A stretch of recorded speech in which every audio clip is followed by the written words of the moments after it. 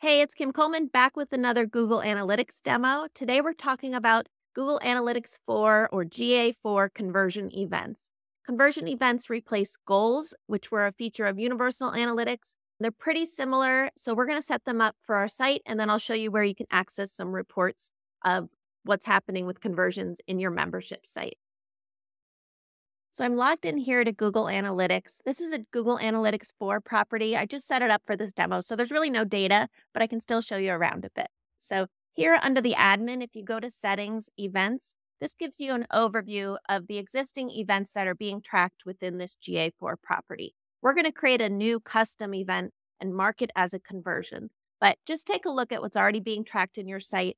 Uh, there's some old events here from testing I was doing, but some of these are built in and will automatically get registered just based on analytics itself and how it understands your WordPress site. So, for example, session start, that's a default variable, scroll, page view, form submit. These are things that Google can interpret from your site as events that are happening. Not all of them are actually conversion. You'll see here in this site, I have a custom event that was called annual membership checkout that I labeled as a conversion, and then this monthly membership checkout also.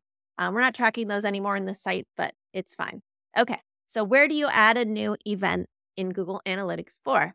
So here's a new blank property where we can add some events and we'll see what changes happen in our property. So again, we'll click admin and we'll make sure we're on the right property here and click on events. So there's no events being tracked in this site yet because it's brand new. I'm going to click create event. So here you would see a list of all the custom events within this property uh, and the events that you've already created or have been created, maybe through Google Tag Manager, let's say. So, to add a custom event, the one we want to show today is a membership conversion or a checkout in your membership site. So, here's our Must Love Dogs demo site. When people reach this conversion, it means that they went through your whole checkout process and then got to the membership confirmation page, which is located here. So that's the standard URL anyone would hit only if they successfully checked out in the membership site. You can see there's a level ID attribute here, level three.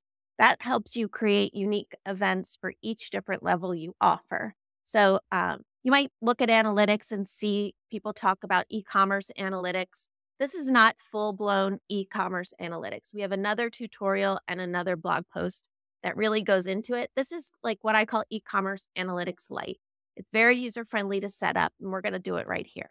So we know the URL that people would hit if they successfully signed up for our level three enhanced membership. So this field just takes a few custom fields. So we're going to add level three checkout under the event name equals, we want it to be page view. And the new parameter here is the page location and we want ends with here. And that is like the location on your site that the user hit. So for this level three checkout, the page location that triggers this event is a view of a URL that looks like this. Feels a little confusing, but really you just have to create them once, follow the steps in the guide, follow my tutorial here. So when Google Analytics sees an event like a page view and the page that the person's viewing has a URL that looks like this, trigger the event. That's all we need to know. There are some information uh, fields here about parameters, and you want to copy parameters from the source event so that it otherwise tracks other information about that user's session. But there's two we want to add here. One is called value, and this is the numeric value of a checkout. So for our level three checkout, let's check our site. What was that actually? What does it cost? $25. So when someone completes checkout, for level three on this site, we get $25 and our currency is USD. There's a link in the guide and we'll put one in the description for the currency codes that Google Analytics 4 supports. You have to use one of those values. The reason I like adding these two fields to the conversion event is it's going to show a monetary value in all of your Google Analytics reports for different pages that people might land on on your site, different views they might take, it kind of builds out information for you so that you can see the portion of value attributed to people who land on your homepage or people who land on that membership pricing page. Google Analytics does some math and kind of allocates a portion. So the ultimate conversion event here is a $25 checkout. So just click create. I'm going to add one more just so you guys um, see it. I wish maybe you can. Oh, yeah, you can copy. All right, let's duplicate this one and we'll just change it to a level two checkout. The page location ends with, we have to adjust that parameter for level there. And then what is the price? Let's go back to our site here. Which one's level two? $50 per month is level two. Oh, I was on level three. A level three is 50. Level two is 25. Okay, we'll fix that. All right, let's say keep this one at 25. This is our level two checkout. And those are the only things we adjust. I'll go back just for completeness because my demo site was slightly different than I thought. And that's the $50 checkout. Cool. So you would repeat that for every membership level you have or you care about tracking here in analytics. You don't have to do it for all of them. You can do it for a free checkout and just put a value equals zero or you can make up a value. Sometimes you might have an idea of what a lead costs you or what a what the value of a lead is. So you could even put one. It's not actual financial reporting. It's just helping you see certain things. So you could just put one US dollar in that field. I think that it has to be a whole number.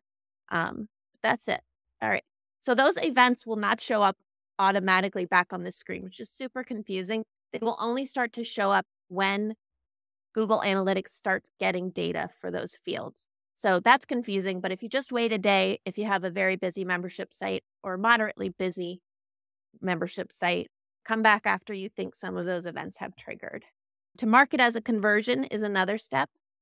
And it also takes time for those events to show up on that event screen. So there's two ways you can do this. I'm going to show you the shortcut way, which would just be in this new event name, you have to enter the name you added in the previous step. So let's go back and grab that field create event. The name that we want is here in this first column, custom event name. So I'm going to copy that name here. And then under new conversion event, we just add that there and click save. We'll do the same for our level three event and click save. So in essence, all of that data is going to start to track. We just have to wait a little bit for our analytics to start trickling data in. And then I'll show you quickly where you can access the reports and where those fields will show up. Okay, I'm here in a different property that actually has some data that we can look at.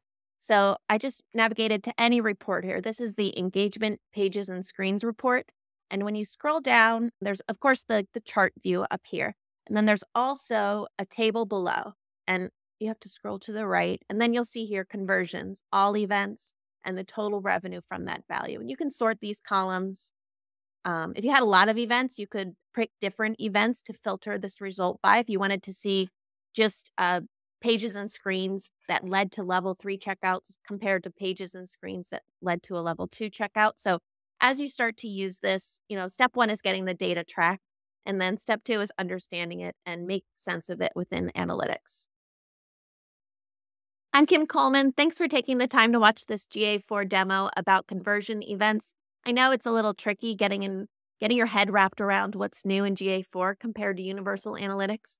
Um, but I think this is a really straightforward thing to set up. It doesn't add page weight to your site. It happens all on the analytics side. So give it a try. Follow the steps in the companion tutorial linked in the video, or if you're watching from our site, you're already there.